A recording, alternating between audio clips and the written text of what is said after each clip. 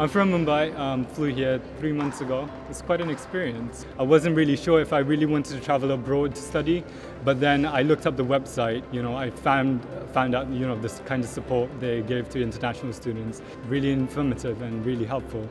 And that's what really made me take this decision into coming here. I applied through UCAS. It was really easy, to be honest. Straightforward, put in your application, wait for universities to reply, that was it.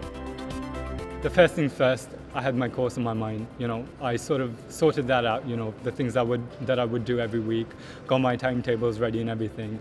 I realized that I had um, quite some spare time to do in my first semester. So I thought about looking up um, work placements and things like that just to get a hands-on experience. So at the university, I, I, visited the workplace, spoke about job placements, things like that. So one of the things that I do is teach at one of the local primary schools. It's a really fun job because I've been doing it for the past six weeks, teaching students math and, you know, just skills learning math and things like that. Really interesting.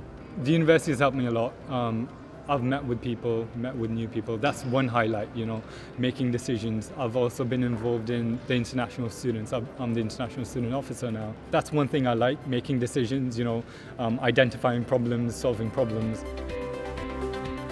The university has quite a few prayer rooms and facilities. It's very nice, you know, being rooted, sort of being here, studying um, in a, an international environment and still being rooted to what you love, what you do, you know, sort of those traditions, those cultures, things like that.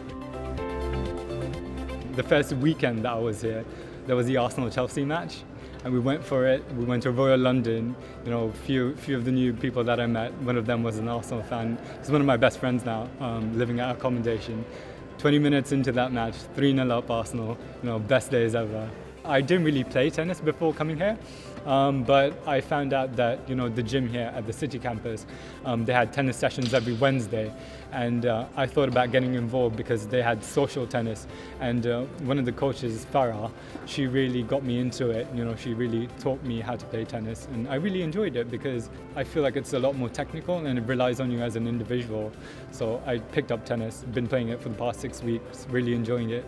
Got a tournament coming up next week, um, so hopefully let's see what happens.